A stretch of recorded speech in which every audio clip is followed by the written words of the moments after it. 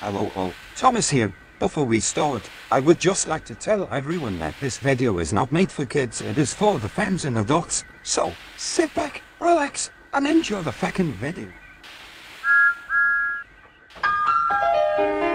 Reach for the speed, reach for the whistle, go where the rail may run.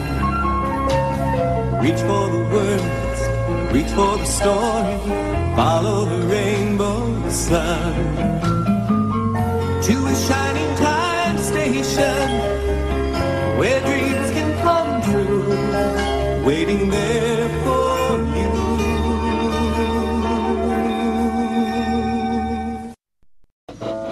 Duncan would not stop grumbling. He grumbled that he wasn't polished enough. He grumbled that he was overworked. Most of all, he grumbled about the passengers. I'm ashamed of you, Duncan, said Skarloey. Thank goodness Rheneas is coming home soon. Perhaps he'll teach you some sense before it's too late. What has Rheneas to do with me? Rheneas saved our railway, replied Skarloey. Please tell us about it, said Peter Sam. Well, began Skarloey, it was before you came here. Things were bad. Rheneas and I had to keep the trains running, or our railway would have to close. How awful, murmured Peter Sam. I tried hard, continued Skarloey, but my old wheels ached. Rheneas understood. It's my turn now, he'd tell me. He was often short of steam, but he always struggled to a station and then rested there. I mustn't stop between stations, he'd say. The passengers wouldn't like it. huffed Duncan. He had stopped on a viaduct and hadn't cared at all. Passengers, continued Skarloey, get cross if you stop at the wrong places. Rheneas stopped in the wrong place once, and this is what happened. One wet and windy afternoon when the rails were damp, Rheneas was traveling home with a full train. There were even passengers in the caboose. It wasn't a comfortable ride at all. Rheneas's wheels kept slipping, and it was a steep climb.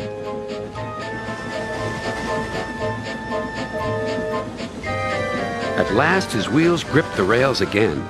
The worst is over, he thought. Now we're away.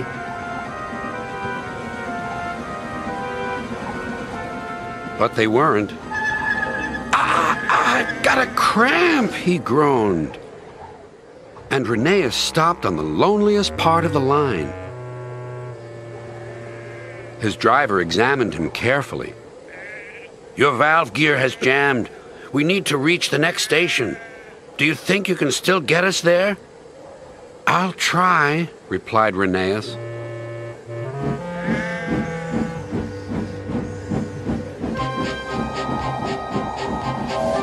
Rheneas did his best.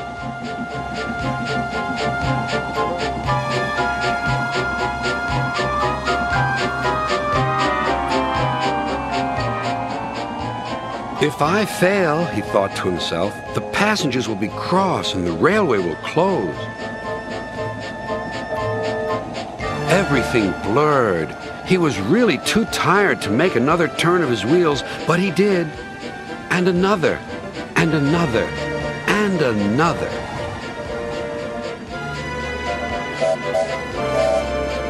Finally, tired but triumphant, Rheneas reached the station. I'm here at last, he wheezed. Thank you for getting us home, said the passengers. We'll tell all our friends what a fine railway this is. His driver was delighted. You're a gallant little engine, he said to Rheneas. When you're rested, we'll mend you, so you'll be ready for tomorrow. And, smiled Skarloey, Rheneas always was ready for tomorrow. Thanks for telling us about him, whispered Duncan. I was wrong. Passengers are important after all. The next day, Rheneas came home. All the engines were there to greet him. Stepney pushed his truck to the siding where he was lifted onto his rails. This was the signal for a chorus of whistles from engines large and small. Everyone was happy, and Rheneas was the happiest of all. You know, he whispered to Skarloey, this helps a little engine to feel that at last he has really come home.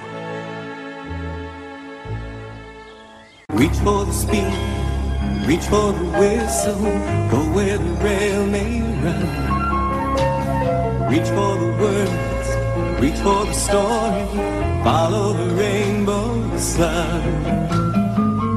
To a shining time station, where dreams can come true, waiting there for